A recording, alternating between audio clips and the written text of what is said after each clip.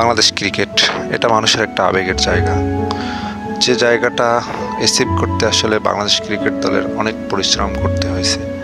কিন্তু বর্তমানে বাংলাদেশের পরিস্থিতি এমন পরিস্থিতি যাচ্ছে যে এই মানুষের আবেগ, ভালোবাসার জায়গাটা একটা লোকের কারণেই আজকে বাংলাদেশ ক্রিকেট দলটা একদম ভেঙে যাচ্ছে, সেই লোকটা এই হাতুর সিংয়ে। এই একমাত্র হাত, হাতুর সিংয়ের কারণেই আজকে হচ্ছে বাংলাদেশ দলটা একদম হজবরল হয়ে গেছে।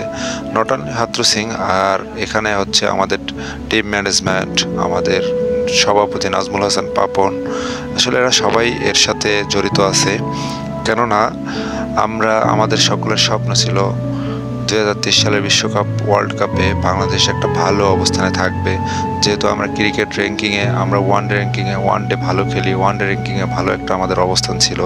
সেই জন্য আমরা সবাই ভেবে নিয়েছিলাম যে এবছর ওয়ার্ল্ড কাপে আমরা ভালো একটা অবস্থান নিয়েই আমরা দেশে ফিরব এবং দেশের মানুষকে, মানুষ জানি হাসি মুখে সেটা বরণ করে নেয়। কিন্তু দুর্ভাগ্যবশত আজকে টিম ম্যানেজমেন্ট এবং হাত্র সিংয়ের কারণে আজকে আমাদের এমন একটা দল নিয়ে হচ্ছে বিশ্বকাপে যাওয়া হয়েছে। যে দলটা আসলে সবাই প্রায়জনই নতুন।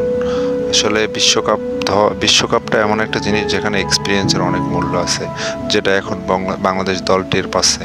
যে আফগানিস্তানের মতো দল, তারাও হচ্ছে দুইটা ম্যাচে অলরেডি জিতছে, কিন্তু বাংলাদেশের মতো দল আজকে হচ্ছে পঞ্চম পাঁচটা ম্যাচ খেলা শেষ, একটা ম্যাচে জিতছে আফগানিস্তানের সাথে, সেটাও অ্যাক্সিডেন্টলি এখন হলে মনে হয় সেটাও জিততো না।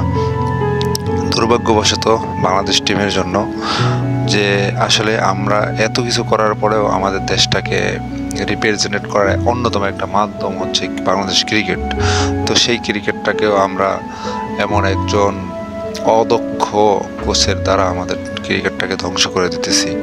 আফসোস লাগে আসলেই আফসোস লাগে যে ক্রিকেটটা আমরা আমরা এমন একটা জাতি যে আমরা সারাদিন বলি "আ, বাংলাদেশ ক্রিকেট খেলা দেখব না। কিন্তু দিন শেষে এই ক্রিকেট যখন আসে তখনই ক্রিকেট খেলাটা খেলাটা দেখতে বসি।